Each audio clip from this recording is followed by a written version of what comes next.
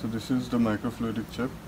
The first part is the control flow layer.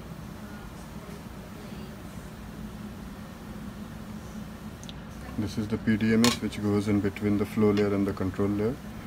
This is the control layer identified by these knobs.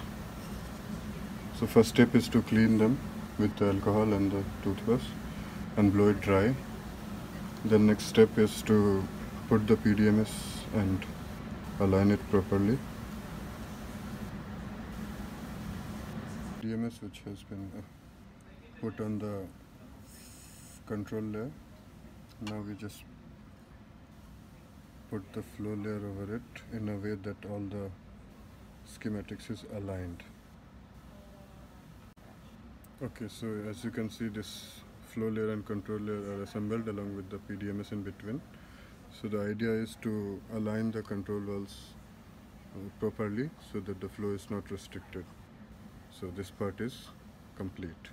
Now we put it in the so after that we need to clamp it together like this using 8 clamps and uh, then we have to put in the desiccator for uh, which is like uh, which is for providing the sealing uh, to the PDMS layer. So what we do is we put it inside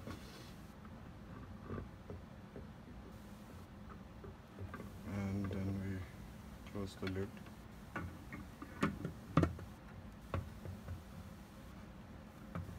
after that I just have to it the power supply and see if this is closed properly. So this is open. So now we close it. This is a manual check whether it's closed or not. It seems closed because there's no noise coming out of it.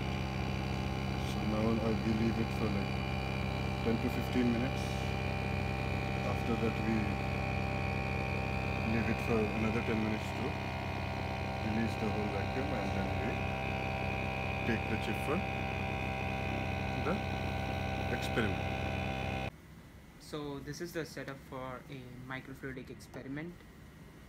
This is the microfluidic chip with the clamps. The clamps hold the chip for it's like it's for the control and flow layers alignment.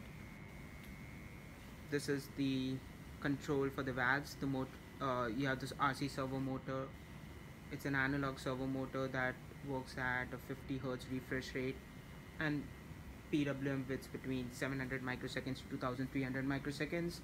Here is a Pmod servo control for the for driving the motor and this is our FPGA the Z board this is a 5 volt supply for the motor that comes in from the uh, from the board. It's a filtered DC supply. And this is the laptop will generate the bit stream and put it on the FPGA and this is the syringe pump that is used to push the fluids onto the flow layer. And the motors will control the control layer for opening and closing the valves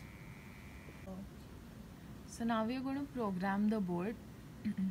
this is just to check if the motor is running correctly and we are able to actuate the valves. So uh, let's just try a set command.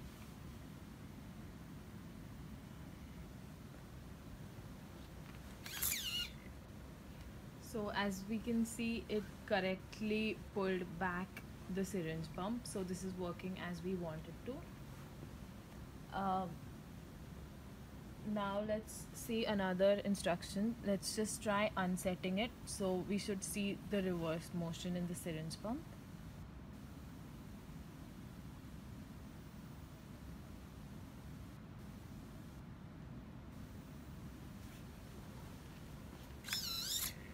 So it sets it back and this is exactly what we want the syringe pump to do so we'll now start with the experiment. We'll start pumping in the fluids. And we'll give this set command to open the valves.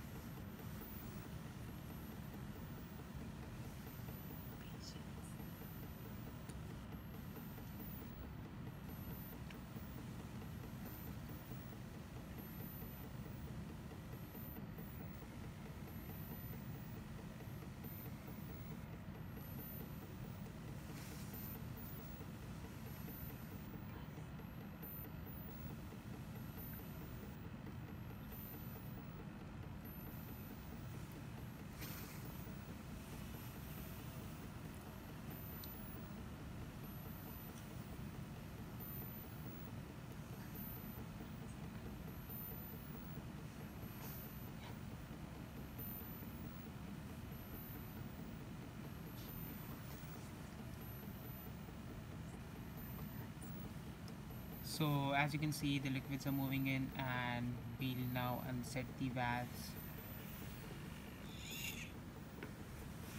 For the unset action